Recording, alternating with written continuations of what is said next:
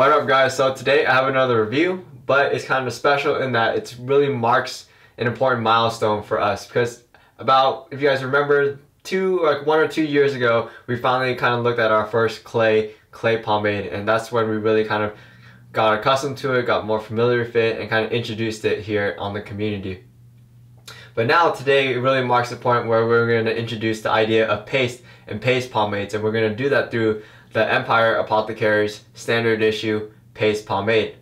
And I kind of chose this one because for similar reasons before, this one finally works. It's finally a, a paste that kind of works for our uses in that it's also advanced and we ourselves are kind of kind of been able to get more familiar with the other range of products out there. And so I kind of feel like it's a good time now to introduce you guys a new category of products, which is paste and that kind of paste pomades. Paste pomades being a sort of somewhat of a hybrid between a paste and a pomade. And we'll talk about, like during the review itself, like what constitutes a paste and why we define it as a paste. Similarities to pomades, similarities to like clays and other texturizers. But we'll start off this review like any other though, by looking at the jar.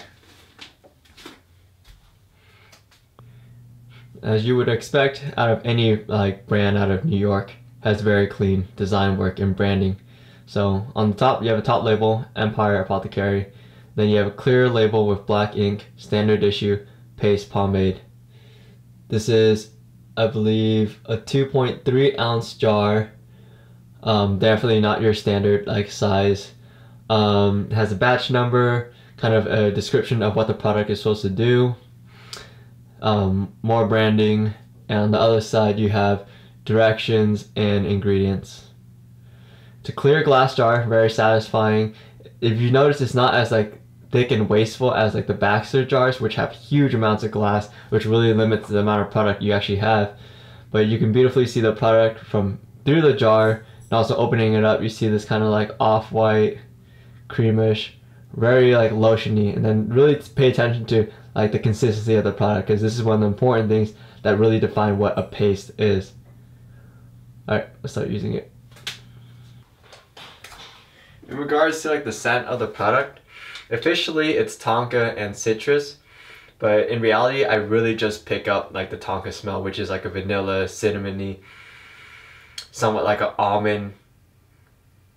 I would say pushing really towards like the cinnamon with like the hint, the depth of like an almond type of smell. But in general, like it's very nice. I think like in a stronger citrus aspect would actually really add to it. But overall the scent is still very like pleasing. It's not strong in any way though.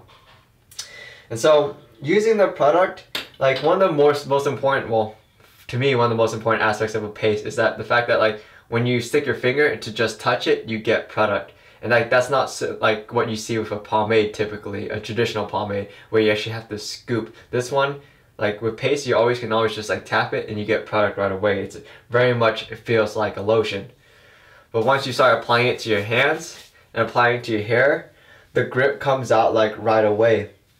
And it's a very different grip from what we're used to in comparison to like uh, your traditional pomades, even water-based pomades, or even clays really.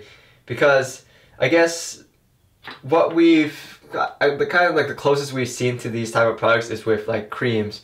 Um, for example, like the Layrite Natural Matte Cream you kind of see this like kind of almost like lotiony texture. That one's still a little thick, but once you apply it to your hair, you get this immediate, immediate like grip, and it's like a dryish like type of grip.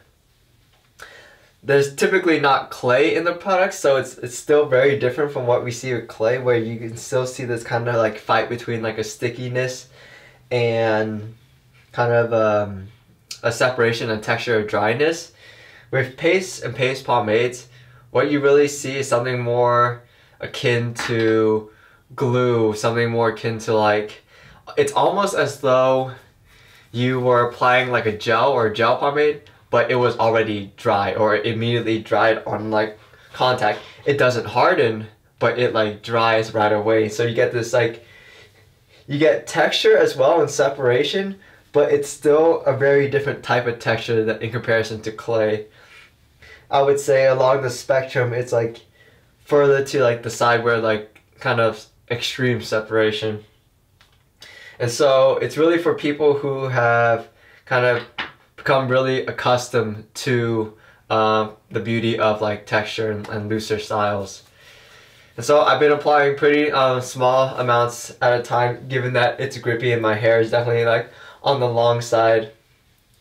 And with a focus I'm trying to get it into like the center of my palm. Alright, so with that done, we'll go ahead and just comb everything back. Just a habit of mine to really just make sure the product is everywhere.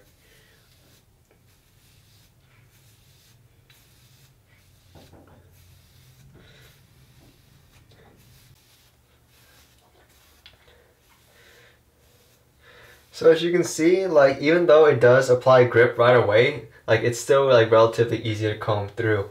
And you have to be kind of aware or kind of keep in mind that like you need you need to work really fast with paste pomades, which is really unfortunate for us given that we're trying I'm trying to film at the same time. It's impossible for me to move quick. So go ahead, excuse me, I'll go ahead and start styling right now.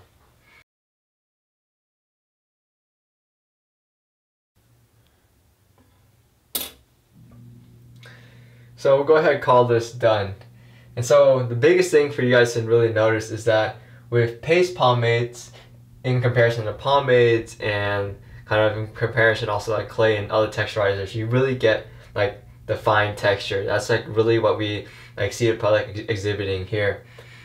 With clay, you kind of have that balancing between like the stickiness and the separation to get kind of like the loose and more coarse uh, looseness, but this one you get a really fine one. So as you can see, like it has a very neutral effect um, to it. The slickness is not really characteristic we look at in uh, paste pomades. The strength is definitely kind of like, it's about average of what we see with traditional um, pomades. Um, it's like the grippiness that really kind of stands out to us.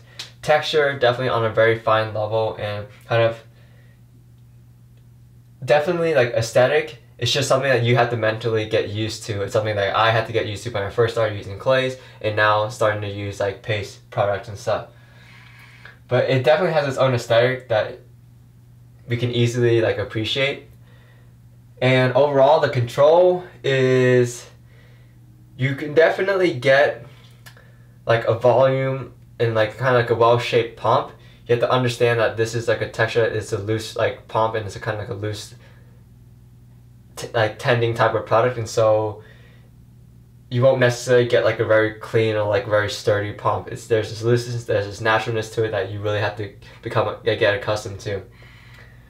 But yeah, so overall, like looks good, definitely viable.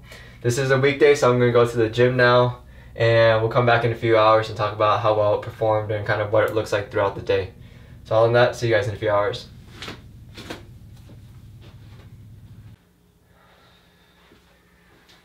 Okay, so let's go ahead and wrap up this review. Um, had a good gym session, so put it like the product through a good test. And kind of what I really want to talk about is kind of the differences between a clay and a paste, or at least what I see here, what I've noticed. Um, because I mean that's probably the thing on your mind, and that's the most similar product to this one. So as you can see, I mean like this is it restyled it still has like a texturedness to it. It still has some like flow, and you can still very much like style with it. Still has good volume. Definitely lost a little bit during the day, um, but very much for like a loose product, like not bad at all. Now the thing is with a clay, with like the actual clay um, ingredient, it gets gritty. It gets has this like kind of like um, kind of dryness to it. Whereas with this paste, like it dries and becomes grippy, but it's not very like gritty. It has this like, I mean, for now the best way to describe it is as though like, as though you had like a gel that dried, yet it didn't flake off. You can still like style with it. It's, it's like dry. It has like hold to it. It has like flexibility to it, but it's not gritty. It's, it's not as like like you, you get pushed towards like texture and separation but it's a different kind of like texture from like the grittiness that you get between like clay or like like with sand and, like dirt and stuff it's it's it's to be it's distinct from that um, but overall to kind of go through the categories endurance like definitely as a loose um, uh, if you style like a loose pomp with this one um, it has a good chance of falling apart, but at the same time, you're supposed to take advantage of that natural aesthetic, that natural looseness to it. That's that's the purpose behind it. To style a slick and clean pomp with a product like this is not necessarily what it's intended to do. Not unless you have very like short hair and you go for like a very like low pomp or like like a side part or something. Then that makes sense. You can keep it probably pretty clean. Um, restyling, um, you lose a little bit of the volume, but the nice thing is that that feel really stays the same throughout the whole day, and that's very satisfying. Um, what else? I guess uh, rinsing it out, uh, out of the hair, you will need shampoo. Um, if you do it with just water, it'll take uh, quite a while, but I mean, it is still water based, and so you could remove it with shampoo in one uh, shower. It doesn't harden, uh, doesn't feel greasy at all, doesn't feel bothersome, and the scent is very light. It's just very light in the hair right now. And so, I mean, overall, obviously, like this receives my seal of approval just because, like, I would not have chosen to present to you this new category of product if I had not like liked it. I wouldn't introduce this new category with like a bad product. And this is like one of the choice like paste pomades out there. And I'm sure we'll see more paste and more paste pomades to come in the near future just because as we introduce or as we see these new products, they open up a large breadth of different like variety of things that we can experience and different styles of hair. Since that we've taken a more open approach to like the pompadour and with that open-mindedness like we're able to kind of appreciate a wider range of products. And so yeah, if you guys are interested in this, this is a great introductory like paste pomade just because it's still a hybrid between a paste and a pomade, something that's a little more familiar to a pomade for you guys. And then we'll continue with these and then we'll then we'll look at paste like kind of more like um, kind of out there paste in the near future. But of course um, this is a new uh, product so new promo code available to you guys the Pomp, all caps empire apothecary i made it for you guys just so that you guys can experience a new product and i really encourage you guys to do so because we're going to start talking about them and i do want you guys to have a basis or foundation on which we can kind of converse so other than that, peace out, guys. Take care, and I'll see you guys again in a little bit.